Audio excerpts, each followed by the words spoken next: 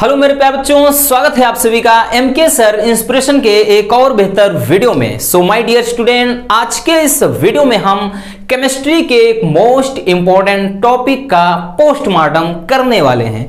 आज के इस वीडियो में रसगुल्लों, हम सीखेंगे कि ओस्ट वाल्ड विधि द्वारा नाइट्रिक अम्ल कैसे बनाते हैं। बहुत सिंपल टॉपिक है। और हाँ इसकी एक खास बात यह है बच्चों कि हर साल बोर्ड एग्ज़ाम में पूछा जाता है और वो भी पूरे पाँच नंबर में। तो पाँच नंबर की बात है। चलिए हम इसको बहुत ही अच्छी तरह से सीख लेते हैं।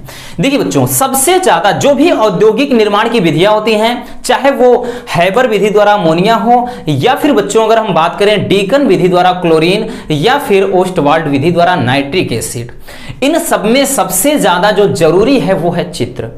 अगर आपने रसगुल्लों इसी को सीख लिया तो समझ लीजिए चुटकियों में आप इस पूरी विधि को लिख सकते हैं। देखिए, अब इसमें करते क्या है बच्चों? ओस्टवाल्ड विधि द्वारा नाइट्रिक एसिड बनाने के लिए इसमें जो एक बच्चों, ये विधि होती है औद्योगिक, इसमें तीन प्रमुख भाग होते हैं पार्ट ठीक है ना? क्या क्या होता है? पहला, उत्प्रेरक कक्ष, दूसरा आक्सीकारक कक्ष, तीसरा, अवशोषण कक्ष। ठीक है ना? चलिए, इसको सीखेंगे। सबसे पहले हमारी जो विधि है, वो क्या कहती है, उसको देख लेते हैं। ठीक है ना? देखिए बच्चों, विधि में क्या है? सबसे पहले आपको विधि में समझना है कि ओस्टवाल्ड विधि में होता क्या है बच्चों? कि इस विधि में अमोनिया गैस वायु से ऑक्सीकृत होकर नाइट्रिक ऑक्साइड बनाती है। ध्यान से समझना, जो क्या होता है बच्चों, फिर से आक्षीकृत होकर NO2 यानी नाइट्रोजन डाइऑक्साइड बनाती है और यह जल से क्रिया करके नाइट्रिक अम्ल बनाता है, ठीक है ना? ध्यान से समझना, तीन स्टेप में रिएक्शन है। क्या कह रहा है? इसी के अकॉर्डिंग हम लिखेंगे। क्या कह रहा है बच्चों? कि इस विधि में अमोनिया तो अमोनिया कह रहा है बच्चों तो हम अमोनिया को लिख लेते हैं। NH3 अमोनिया किससे? वायु से। तो वायु से है बच्चों तो वायु से क्रिया करके क्या बनाता है? ऑक्सीकृत होकर ऑक्सीकृत बोले तो बच्चों O2 ठीक है ना? ऑक्सीजन से क्रिया करके। एन क्या बनाता है? नाइट्रिक ऑक्साइड, यानी ये बनाता है NO नाइट्रिक ऑक्साइड ठीक है ना बच्चों? और साथ में अगर H2O है तो भाई साहब इसमें जल भी निकलेगा। लेकिन बच्चों, ये रिएक्शन बैलेंस नहीं है, इसको अपन बैलेंस कर लेते हैं। तो इसको क्या करते हैं? ध्यान से समझना। एक काम करते हैं, जैसे इसको हम दो लगाएँगे दो लगाएँगे, ये काम नहीं होगा, चार लगा लेते हैं। तो ये है बच्चों, यहाँ से चार लगाएँगे, चार नाइट्रोजन हो गया, चार लगा दीजिए। तो चार नाइट्रोजन बराबर, अब चार तिहाई बारह हाइड्रोजन हो गए तो यहाँ पर छह लगा दिया आपने। अब ऑक्सीजन काउंट कर लेते हैं बच्चों, छह, इधर ऑक्सीजन चार यहाँ तो यहाँ पर कितना, छह, चार, दस हो गए तो ऐसा करते हैं, यहाँ पर पाँच लगा देते हैं, पाँच दूना दस। तो ये क्या बना बच्चों? ये बन गया आपका नाइट्रिक ऑक्साइड। ठीक है ना? स्टेप ध्यान से समझना बस, पूरा रिएक्शन एकदम क्लियर हो जाएगा नाइट्रिक ऑक्साइड। पहले यही कहा कि अमोनिया गैस किससे? वायु से। ऑक्सीकृत भाई, ये वायु है। ऑक्सीकृत होकर के नाइट्रिक ऑक्साइड बना रहा बच्चों। और जो जो बोले तो यही। अब जो नाइट्रिक ऑक्साइड बनता है, ये क्या करता है बच्चों? जो नाइट्रिक ऑक्साइड है, ये फिर क्रिया कर कैसे? फिर से ऑक्सीकृत होकर बोले तो फिर से O2 से क्रिया करके अब की बार ये क्या बनाएगा? NO2 नाइट्रोजन डाई ऑक्साइड बनाएगा। इसको भी अपन बैलेंस कर लेते हैं। तो क्या हो जाएगा बच्चों? ध्यान से समझना, इसमें हम बैलेंस अगर हम करेंगे, देखिए, दो एक तीन ऑक्सीजन है, दो यहाँ, एक दो यहाँ है तो नहीं होगा काम। एक दो लगा के चेक कर लीजिए। दो नाइट्रोजन हो गया तो दो लगा दीजिए। दो दुना चार चार ऑक्सीजन हो गया तो दो ऑक्सीजन यहाँ, दो यहाँ, बराबर। ये बच्चों NO2 बन गया, है ना? इतना बात समझ में आ गया, ठीक ना? यानी इतनी चीज़ें क्लियर हो गई बच्चों। अब देखिए, और यह जल से क्रिया करके, यानी अब रसगुल्लों, ये बना नाइट्रोजन डाइऑक्साइड क्या बन गया ये? कि नाइट्रोजन ठीक है ना? नाइट्रोजन डाइऑक्साइड ये बन गया, ठीक? ऑक्साइड अब ये क्या करेगा बच्चों?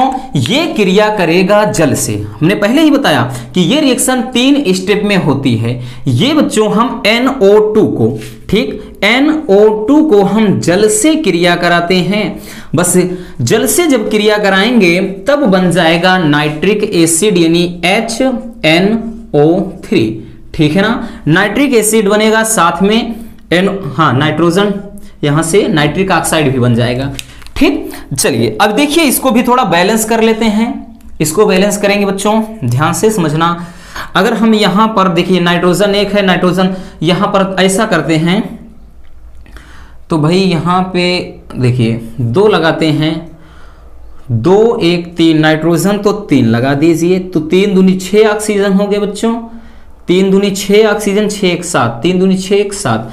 तो हो गया। ये बन गया नाइट्रिक नाइट्रिक अम्ल, और इसी को बनाना था, ठीक है ना? नाइट्रिक अम्ल। तो बच्चों मेन यही है, और यही चीज़ इसमें किया जाता है। अब इसमें कैसे करते हैं, ये देखना सबसे ज़्यादा ज़रूरी इतना है, अगर इतना आप नहीं लिखेंगे तो मान के चलिए, अगर पाँच नंबर का है, भले आपने फिगर बना लिया बच्चों, लेकिन आपके तीन नंबर तक कट जाएँगे। इसकी वजह से। मेन तो कहानी यही है ना। मेन तो बच्चों यही है, जो क्या कह रहा है, फिर से समझ लीजिए, इसमें अमोनिया गैस वायु से तो अमोनिया गैस NH3 अमोनिया है। अमोनिया गैस बच्चों किससे? वायु से। क्रिया करके क्या बना रहा है? Nitric oxide. जो कह रहा है, ध्यान देना, जो फिर से ऑक्सीकृत, यानी ये जो नाइट्रिक ऑक्साइड है फिर से ऑक्सीकृत होकर के NO2 यानी नाइट्रोजन डाइऑक्साइड बनाता है और यह जल से क्रिया करके, यानी जो नाइट्रोजन डाइऑक्साइड बच्चों, ये जब जल से क्रिया करेगा तो यही बनाता है नाइट्रिक एसिड। अब कहानी आती है कि हम विधि में क्या लिखेंगे? अब हम लिखेंगे बच्चों, क्या लिखेंगे? विधि। देखिए, यहाँ पर हम विधि तो नहीं लिखेंगे, ठीक है ना? यहाँ पर बस आपको थोड़ा समझाएँगे, बस समझ जाइए, फिर आप छाप देंगे। अभी हम इसका स्क्रीनशॉट भी लगा देंगे, विधि आप देखना चाहते हैं, देख सकते हैं। देखिए, अब क्या लिखेंगे? इसमें वही आपको थोड़ा समझना है, ठीक है ना? चलिए। देखिए, क्या करते हैं बच्चों? सबसे पहले, ये आपको दिख रहा होगा, सबसे पहले क्या करते हैं? कि अमोनिया और वायु, ठीक है ना? अमोनिया और वायु के मिश्रण को एक अनुपात, नौ के अनुपात में लेकर के, ध्यान से समझना, यही लिखना है कि सर्वप्रथम अमोनिया और वायु के मिश्रण को एक अनुपात नौ के अनुपात में लेकर के बच्चों क्या करते हैं? इसे उत्प्रेरक कक्ष में प्रवाहित करते हैं। उत्प्रेरक कक्ष में होता क्या है? उत्प्रेरक कक्ष में यहाँ पर प्लेटिनम की जाली बिछी होती है, जिसका तापमान होता है बच्चों 650 से 800 अंश सेल्सियस। यानी हाई टेम्परेचर होता है प्लेटिनम की जाली का। और यही, ये जो प्लेटिनम की जाली है रसगुल्लों, ये क्या करता है? उत्प्रेरक का। ये जो पीटी है, यहाँ पर लिख देंगे, जो प्लेटिनम की जाली है, ये एक उत्प्रेरक की तरह कार्य करता है, यानी अभिक्रिया की दर को ये बढ़ा देगी। अब बच्चों, यहाँ से क्या बनेगा? यहाँ से देखिए, बना क्या इसमें? एन ओ बना। अभी हमने बताया ना, पहले रिएक्शन हुआ एनओ यानी इस वाले कक्ष में एनओ बना। ठीक है ना? तो यहाँ पर लिखेंगे कि जब अमोनिया और वायु के मिश्रण को एक अनुपात, नौ के अनुपात में लेकर के उत्प्रेरक कक्ष में प्रवाहित करते हैं, ठीक है ना? और यहाँ पर प्लेटिनम की जाली बिछी होती है और इसका तापमान 650 से 800 सेल्सियस तक होता है। तो यहाँ पर क्या होता है? यहाँ नाइट्रिक ऑक्साइड बनता है।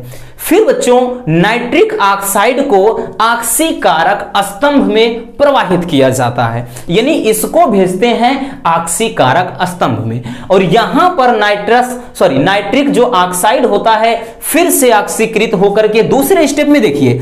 यानी तीन कॉलम है, इसीलिए तीन रिएक्शन है। समझ में आ रहा है ना? तो इसमें क्या होता है बच्चों, जो नाइट्रिक ऑक्साइड होता है, फिर से ऑक्सीकृत हो करके क्या बनाता है? NO2 यानी बनाता है नाइट्रोजन डाई ऑक्साइड अब इसमें जो नाइट्रोजन डाइऑक्साइड बनता है, इसे प्रवाहित किया जाता है अवशोषण स्तंभ में। इसे फिर जब अवशोषण स्तंभ में प्रवाहित करते हैं बच्चों तो वहाँ पर ऊपर से देखिए जल की मात्रा यानी जल गिराते रहते हैं। फिर जब जल क्रिया करता है रसगुल्लों NO2 से, है ना? यानी नाइट्रोजन डाइऑक्साइड से जब जल क्रिया कर लेता है, और यहाँ पर क्वार्टस के पत्थर बिछे होते हैं, और यहाँ पर ऊपर से नीचे नीचे जल रिस करके आता है तो जब जल क्रिया करेगा नाइट्रोजन डाइऑक्साइड से तो बन जाएगा क्या? नाइट्रिक एसिड HNO3 ठीक है ना? नाइट्रिक एसिड बन जाएगा, और ये बच्चों यहाँ पर लेयर में अवशोषण स्तंभ में इकट्ठा हो जाता है। तो इस तरह से बच्चों आपका बन जाता है नाइट्रिक एसिड। है ना आसान? बहुत आसान है। सबसे पहले क्या करते हैं? फिर से सुन लीजिए। एकदम पूरा दिमाग में घुस जाएगा कॉन्सेप्ट कि सबसे पहले अमोनिया और वायु के मिश्रण को एक अनुपात, नौ के अनुपात में लेकर के उत्प्रेरक कक्ष में प्रवाहित करते हैं, जहाँ पर प्लेटिनम की जाली बिछी होती है और इसका टेम्परेचर छह सौ मतलब 650 से 800 सेल्सियस तक होता है।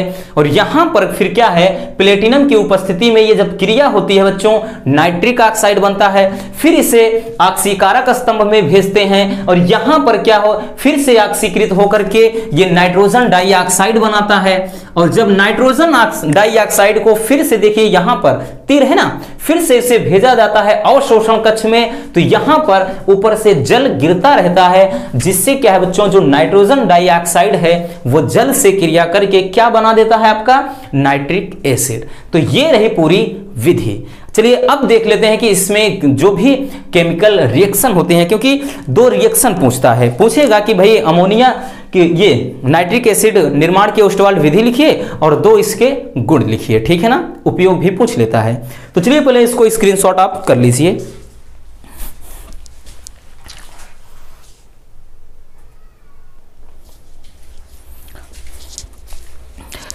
चलिए, अब इसमें देख लेते हैं बच्चों की जो रिएक्शन पूछी जाती है, ठीक ना? यानी गुड़ में।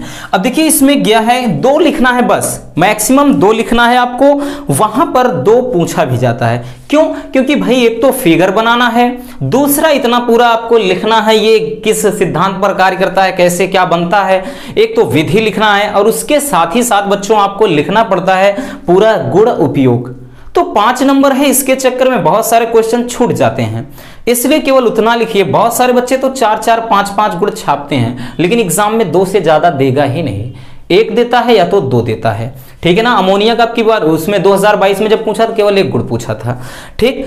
देखिए, इसमें गुण में बात करें बच्चों तो पहला है आक्सी कारक गुण। यानी यह एक प्रबल आक्सी कारक होता है, और ये क्या करता है बच्चों, ये आक्सीकृत होकर के नवजात ऑक्सीजन बनाता है। इसको कहते हैं नवजात ऑक्सीजन ठीक है ना? नवजात ऑक्सीजन का निर्माण करता है बच्चों तो ये आक्सी कारक गुण है। दूसरा क्या है? H2S से क्रिया। ठीक है ना? ज़्यादा यही क्रिया पूछा जाता है, या तो जिंक से, या तो इससे। तो हाइड्रोजन सल्फाइड से जब क्रिया करता है बच्चों तो क्या बनाता है? हाइड्रोजन सल्फाइड से क्रिया करके, ये सल्फ़र का एक अवक्षेप। देखिए, जब तीर नीचे होता है तो कोई अवक्षेप बनता है। ठीक है ना?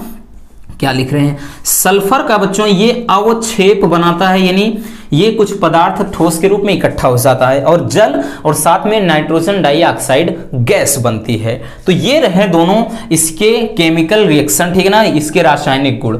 ठीक? अब उसके बाद बच्चों, उपयोग में अगर हम बात करें तो रसगुल्लों इसका उपयोग क्या होता है? बहुत सारे उपयोग हैं। जैसे कृत्रिम रेशम बनाने में, औषधि बनाने में, और बात करें तो प्रयोगशाला में, ठीक है ना? अभिकारक में, अभिकर्मक के रूप में, और अम्लराज बनाने में, इत्र बनाने में, इत्र यानी परफ्यूम सेंट ठीक है ना? औषधि के निर्माण में ठीक, और अम्लराज क्या होता है? जब नाइट्रिक एसिड क्रिया करता है किससे? HCl तो दोनों का मिश्रण जो होता है बच्चों, उसी को अपन बोलते हैं अम्लराज या एक्वा रेजिया ठीक है ना?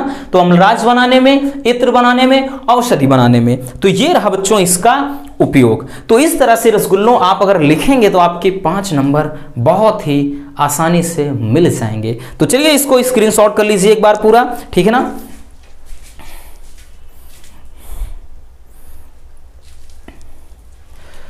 तो बस आज के इस वीडियो में इतना ही। इसी तरह बच्चों, हम बाकी के टॉपिक भी एक दो दिन में पाँच नंबर वाला करवा देंगे। ठीक है ना? बाकी अगर वीडियो पसंद आए तो प्लीज़ वीडियो को लाइक कर देना। और नए हैं तो चैनल को सब्सक्राइब ज़रूर कर लीजिए, क्योंकि यहाँ पर ऐसे ही मज़ेदार टॉपिक आपको मिलते रहेंगे। तो मिलते हैं किसी और ऐसे मज़ेदार वीडियो के साथ। Love you bye bye take care